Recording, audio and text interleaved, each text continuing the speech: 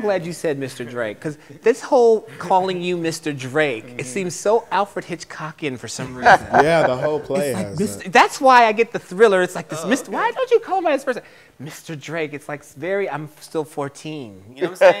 Right, I was right. like, why is he calling Mr. Drake? This is really messing with my mind, right?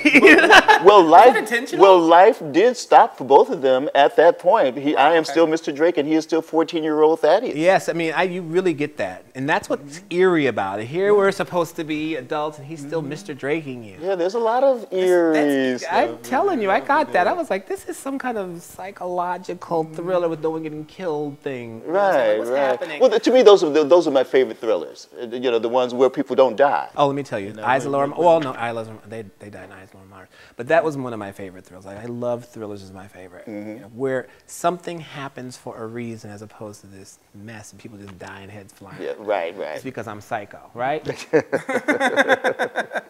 so tell me something else as an actor. Um, you know, I'm an introvert, so yeah, right. Okay, okay. how many weeks did it take you guys to get off book with this? I mean, this is basically It's a lot of dialogue. two 45 minute, you know, monologues back and forth. How long is the show? About an hour and 15 minutes? Uh, uh, about uh, well, well, an hour. maybe an hour and a half. Hour and a half. Okay, so and you About guys an are hour and you guys are both starring in it. I mean, honestly, right? It's not like the star of. I'm gonna tell you, when I sat down and wrote this, if I would have thought that I was gonna end up playing the role, I wouldn't have written that much dialogue. you know, that's a hell of a lot of dialogue. I mean, I've, I've got, I've got, I've got one five-page speech. I mean, so how long did it take you to get off the book? Um, I, how long did it take us to, to get off the? I don't think it was like really that long. I mean, we were both like wearing so many hats. I mean, Yeah. looking back, it's like, wow, we really did all of that. Yeah, because he was producing and starring, and I was, you know, writing and directing and starring. So, you know, uh, you know, because it just saved money, you know. So Yeah, I think by the time we actually started rehearsal, um, we were both pretty much off. Like the How first time I saw take him do the monologue in rehearsal, I was like, oh God, you got that already?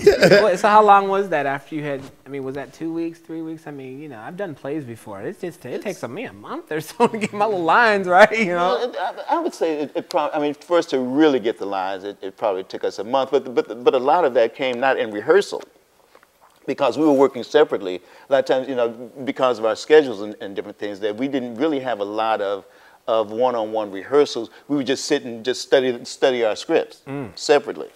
Wow. And then we would come together and, and do the actual rehearsals. Sure, sure. So, so, I'm- so to put a, a number on it, I would say maybe about four weeks. Wow. That is It's- it's- absolutely and also amazing. It's, and it's, you know, and the word, there are a lot of tricky words in there because I love speech. Yes, I can tell. I love the wording. Yeah, and I, I'm just, I, I'm so into that. I'm Like such a, grammatically correct. I mean, you know. well, I love, well, I love poetry. I, I, I, you know, so, so these characters speak in a sort of a nasty, poetic, bless, bless you, you. yeah, sort of, sort of way. Can you bleep that out? No, we're keeping that's rich. Torry Scroggins sneezed. Okay. so, I mean, uh, one last question about the kind of sort of play in general. You kind of weave this sexual tension in too. So, I thought it was very intriguing. The father, I mean, had this. I- love the kind of sort of play atmosphere because the audience is left to think of whoever the father is. Everyone had a different vision of what the father was. Of course, I'm thinking big Bo Jackson, you know. The father was off the chain, right? And I'm thinking, this mother, he's all into that. What the heck? What? I'm getting jealous because my idea of what the father is, right? It's almost because you're planning on maybe putting it on film, right? So you're gonna have your idea of the father is gonna mess my idea up. Well, well, see, well, I mean, if I if I did it on if, if I did it on film, I actually I, I would always have uh, there would be faraway shots of the father, long shots Okay. of the father. The only time we would ever actually hear or see the father would be in the very end of the play. So we wouldn't see scenes of you guys together and what was You would you, you would see you would you would see the characters because the thing is that their descriptives are, are as such that that no one can live up to the descriptions of the That's right, because the father is yeah okay and, and that's because and, and I'll tell you and, and I'll tell you where handsome. It's gotta be some big. But, but you know what? Here's a perfect example of using powerful off-screen characters. I think the best use of that was in Raisin in the Sun. Now, with all those characters on stage, who was the who was the most important character in that whole play? father, wasn't was the father, Yeah, who we never saw, Yes. but who who just made everything happen in that play. And I just good thought that what, what Lorraine Hansberry did with that, device brilliant. was brilliant. Yes, it was. It was. You're absolutely right. I mean, we all had our thought of what the father, who he was, Mm-hmm. how big his hands were, and how he smacked upside.